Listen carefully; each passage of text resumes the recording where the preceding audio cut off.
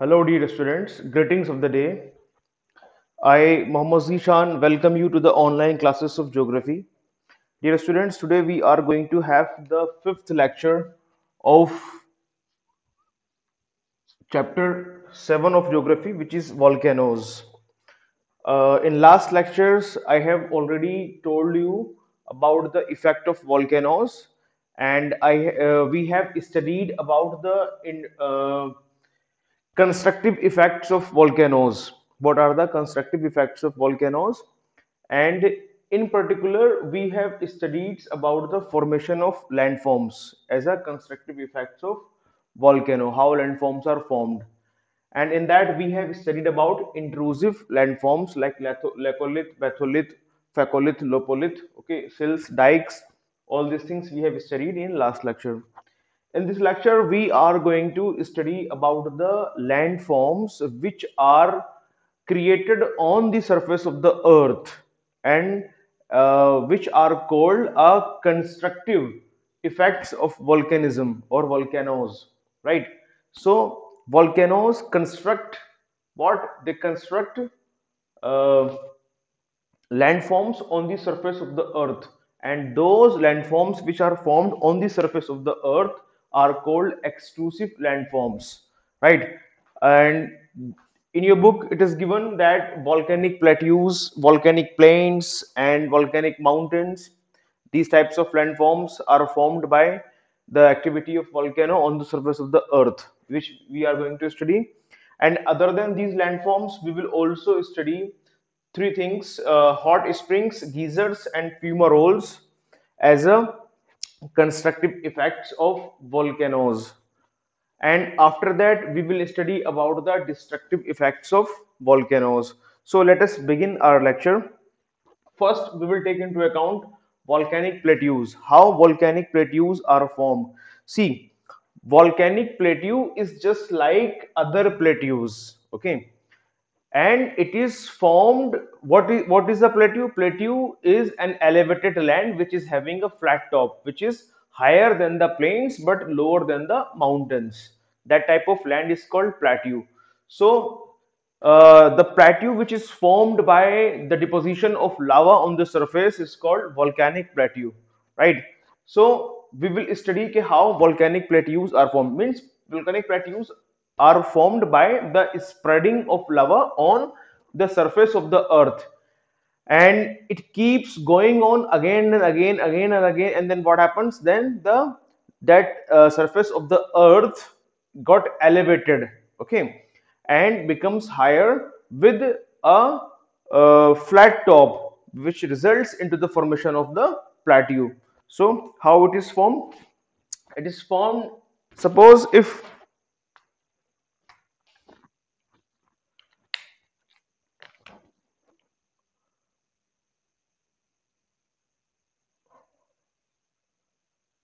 if there is a volcano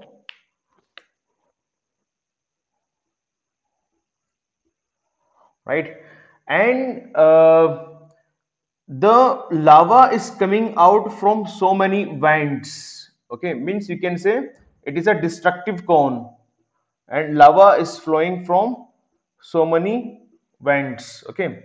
It is a uh, you can say a parasitic cone right in parasitic cone there are so many uh, uh vents on a lava dome okay which destructs the lava dome okay and uh, hence they are called parasitic uh, cones or parasitic uh, volcanoes right? So from there if suppose this lava suppose here we are having this is the surface of the earth right? Like this. If it is getting deposited all over here. Again and again again and again again and again again and again again and again right? Like this from here coming from here and getting deposited here right? Like this. So what will happen? This suppose this is the lowland right? So this type of land will be formed. This type of land will be formed you can say right? This type of land will be formed So this is what it looks like a plateau or not. Means by the frequent eruptions or frequent spreading of lava on the earth surface, what happens? The surface of the uh, height of the surface of the earth got increased. Means it got elevated and hence uh, a plateau was formed. Okay, so this is how the volcanic plateaus are formed. So in your book, what is written? Let us see. And how once one more way is there. Suppose if there is a fissure. Fissure means you can say okay, if there is a uh, you know uh, narrow uh, okay we can draw that like this. Just give me a second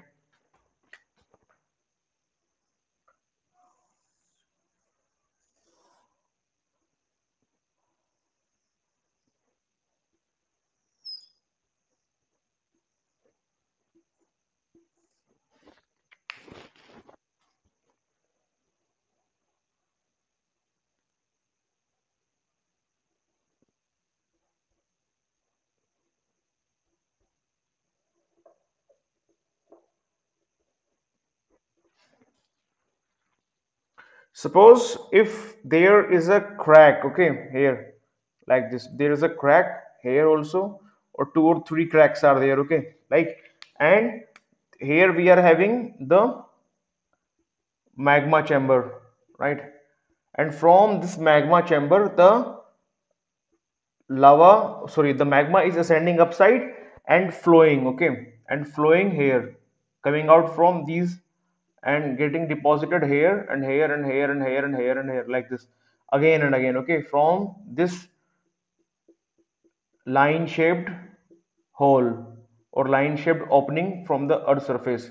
The line shaped opening from where the magma comes out or lava comes out is called what? That is called fissure. So if the lava is flowing from this fissure and this this is getting elevated. This land surface is getting elevated okay? So then what will happen? This much what will happen? Here this formation will be what? It will be a volcanic plateau.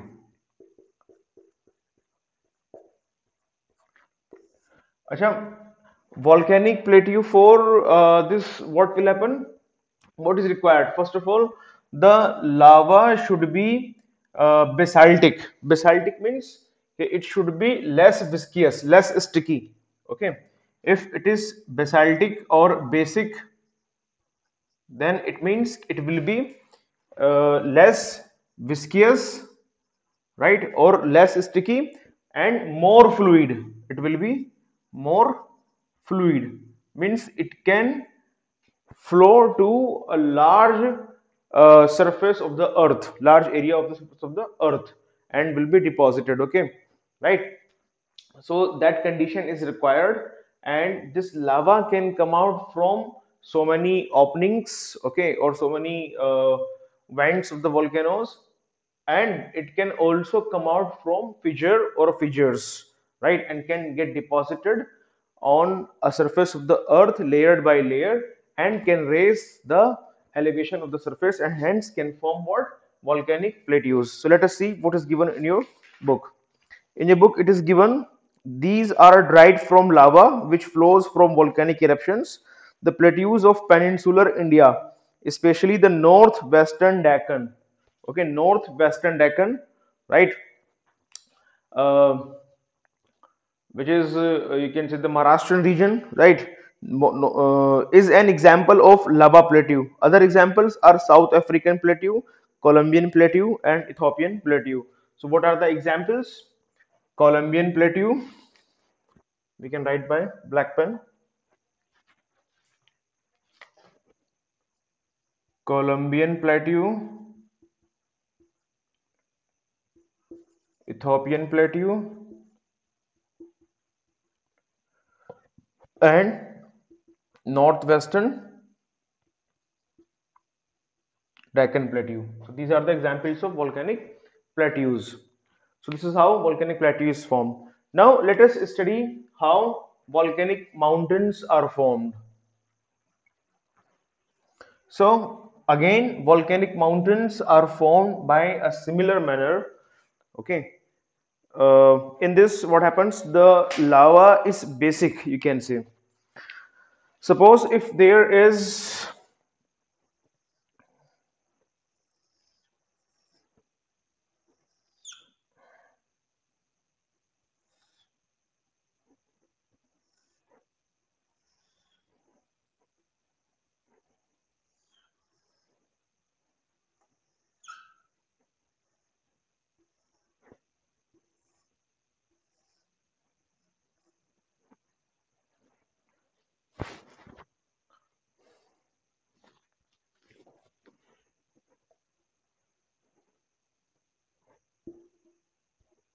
suppose there is a magma chamber here. This is magma chamber here.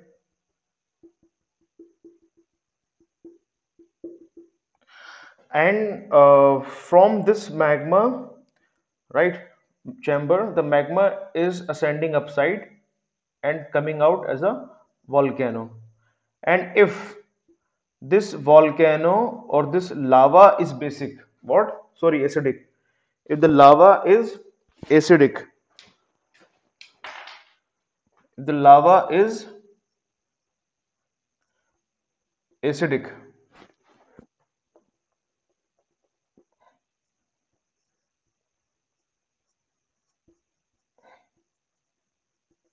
then what will happen? It will be less fluid and more viscous.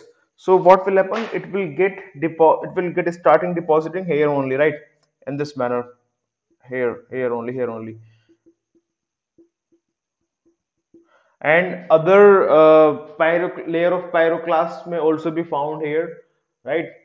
Uh, means a cone will be found whether it is a composite cone which is also called uh, strato uh, cone okay or uh, cinder or any other cone okay? So what will happen? This lava will get deposited on one place on the surface of the earth and uh, that lava will be less fluid hence it will not be able to travel larger distance on the surface of the earth and will get accumulated and the size will keep on reaching and again and again and it will acquire a dome shaped structure okay? And hence what will form? The volcanic mountains will be formed so let us see what is written in your book it is written that these mountains are built from material ejected from the fissures in the earth's crust volcanic mountains are the most diverse because there are great differences in volcanic eruptions as well as the materials they throw up. Volcanic mountains like Mauna Loa in Hawaii rise 9 km from the ocean floor. Volcanic mountains are common in the circum-Pacific belt and uh, include much volcanic peaks as Mount Fuji, Japan, Mount Mayon, Philippines, Mount Merapi, Sumatra, Mount Agung, Bali, and Mount Cotopaxi, Ecuador. So these are the examples of volcanic mountains they have given. They have said the same thing which I have told you. Nothing important is there to remember. Just to you should just know what few examples. Okay, like Mount. So many um, uh, well-known examples are there. Mount Vesuvius, Mount Etna, Mount Stromboli. Okay, these all are the volcanic mountains, right? Mount Fuji, so what is written here? Mount Fuji, right? Mount Cotopaxi,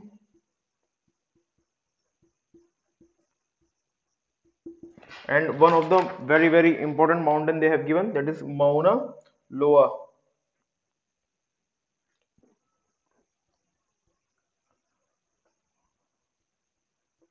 Mauna Loa. This uh, volcano is very important it has created island okay the hawaii island hawaii island which is called hawaii island right of america which is in the pacific ocean right uh, very far away from united states of america and it is one of the states of united states of america that entire uh, state has been formed by this mauna loa uh, volcano. Okay, it uh, uh, erupted in Pacific Ocean on the ocean ocean floor. Okay, and from ocean floor to its apex, right? If you calculate the height, means half which is inside the water in the in, uh, in ocean and which is above the water, right? So the entire height will be around nine kilometer, okay, which is higher than the height of Mount Everest. Okay, although it is not higher than the Mount Everest, uh, because its half height is below the sea. In the sea, you can say, okay, in water, right? So it is Mauna Loa, one of the very very important examples Then we will study about the volcanic plains.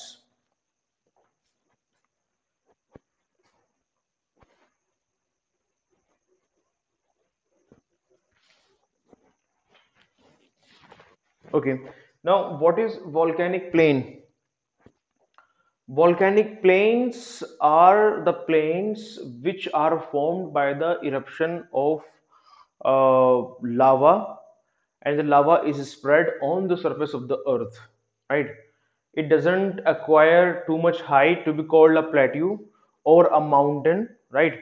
If lava is spread on the surface of the earth like a thin sheet, okay, which cannot be called uh, a, a plateau because of the less height as well as mountain because of the less height and the uh, curved top okay?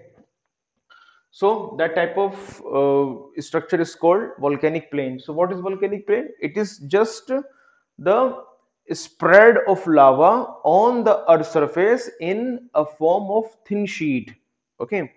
And again here if the lava is uh, basic in nature it is basaltic then it means it will be more fluid and it will flow over a large area of the earth. And then what will happen? Then it will be uh, it will be spread just like a thin sheet of uh, lava. And it will be called what? It will be called a volcanic plain. So volcanic plain is uh, uh, you can say it is spread on a plane only okay? If there is a structural plane right uh, and on that the volcano uh, the lava got spread okay then what will happen? A thin covering of lava will takes place okay on that plane and that will be called a volcanic plain. So volcanic plain is also just like other plains but here what is happening? Here the lava suppose this is the why it is not working? What happened? Sorry just give me a second. Let me take another marker. So the new one.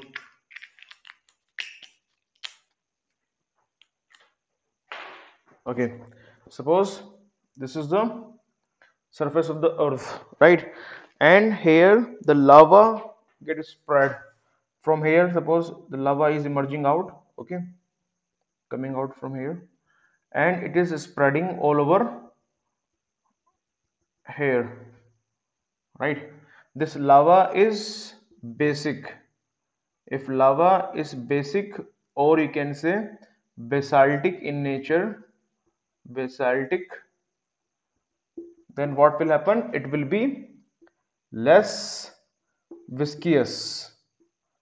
And when it is less viscous it will be more fluid means it can flow right? So it will flow to the large area on the surface of the earth and will be deposited right? And what will happen? A volcanic plain will be formed okay? So what is given in your book? Uh, Volcanic plains. These plains are vast and smooth, formed by extensive volcanic extensive volcanic flooding from volcan volcanic centers. Okay, so it is also called uh, lava flood or basaltic lava flood. You can say okay.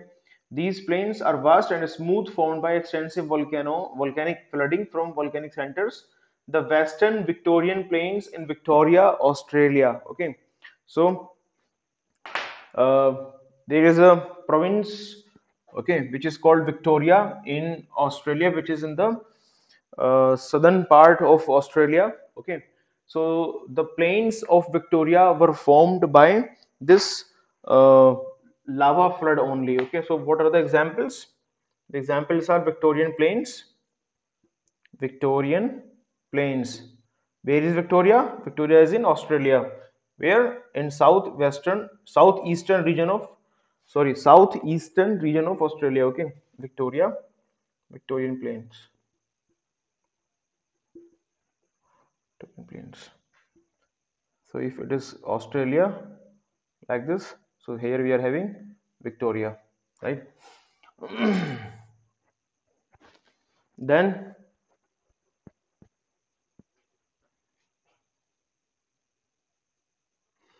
Uh, these plains were formed by volcanoes over the last 6 million years, with most recent eruptions being at Mount Napier 7200 years ago. Over 400 volcanic sites have been found in this region. Okay, so just uh, it was about Victorian plains only, Mount, Napier in Australia, and how volcanic plains of uh, Victorian plains were formed. Okay, they, they are telling about that. So that's all about the volcanic plains now let us move to the next topic which is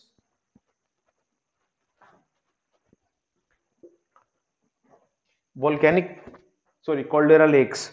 So caldera lakes how caldera lakes are formed i have already told you in the last videos okay? Uh, how caldera lakes are formed? How what is caldera? Caldera is a you can say a very wide opening of the uh, volcano. You can say a very large crater is called a caldera. And when that opening is filled with water that is called caldera lake right? So first of all there should be a depression in the earth. And how that depression is created? That depression is created when the uh, lava or when the magma from uh, from the interior of the earth uh, gushes out okay quickly right? Entire lava entire magma or you can say lava okay when, when it is coming to the surface of the earth the entire lava gushes out of the surface of the earth and you know uh, downside there is no structural support and the entire land collapse downside okay and one depression large depression is formed okay? And that depression is called caldera and when that caldera is filled with water rainwater then caldera lakes are formed okay? So it is just like this. Uh, let me tell you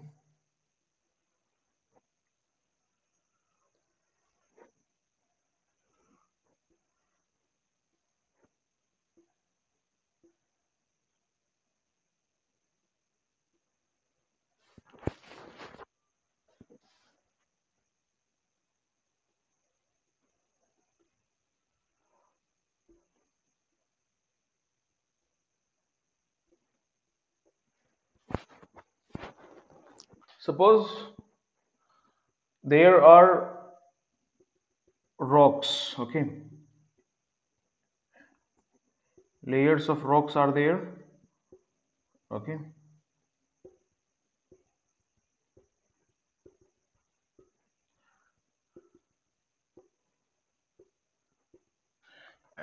Till here we have all rocks are there suppose these may be igneous rocks sedimentary rocks or any rocks are okay? And here we are having the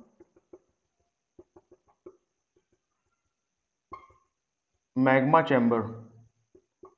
Right this is magma chamber in red color. And here this magma chamber right this magma is rising upside okay and if the eruption is very explosive or you can say uh, the entire lava is coming out uh, you know uh, very quickly from inside then what will happen? The this entire lava will come out okay from here. And then what will happen? Like this this type of structure will be formed okay? This type of structure will be formed in this manner. I'm giving this lining here. Suppose this is the structure right? And what will happen when this entire region will be emptied okay? This entire region or you can say this entire magma will come out okay? Like this from here. Then what will happen? There will be no structural support. There will be a hollow inside okay Uh, when there will be a hollow inside the land which is upside will collapse down. Okay? This these all rocks will come downside here like this. Okay? So what will happen? There will be a hollow will be formed like this here. I'm erasing everything okay and just showing you how the hollow will be formed.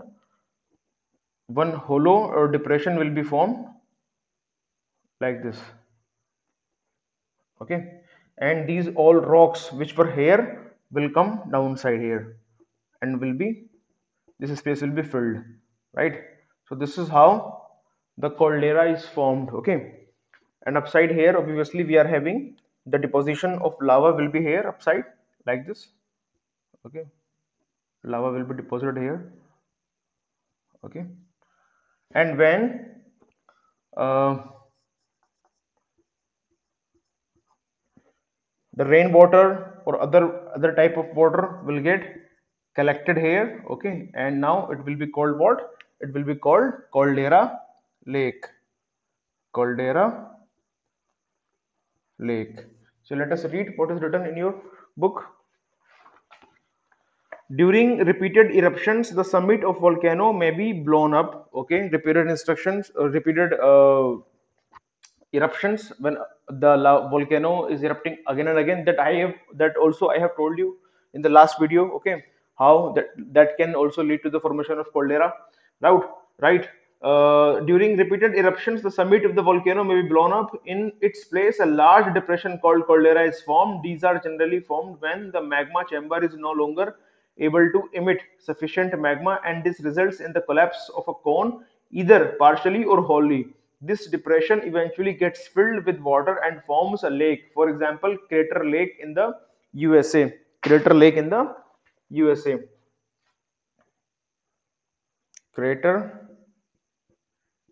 Lake USA. is a caldera lake. It is about 10 kilometer wide and it is the deepest lake in the USA, right? So that I have told you about the Crater Lake. so I have told you about the landforms. Okay, I have told you about the uh, how volcanic plateaus are formed, how volcanic mountains are formed, and how volcanic plains are formed, and how caldera lakes are formed. Okay, so uh, in the video has around you know 28 to 29 minutes length so i don't want to make it more lengthy so this portion hot springs geysers and fumarole as well as destructive effects of the uh, volcano we will uh, take into we will study in next video lecture number 6 thank you so much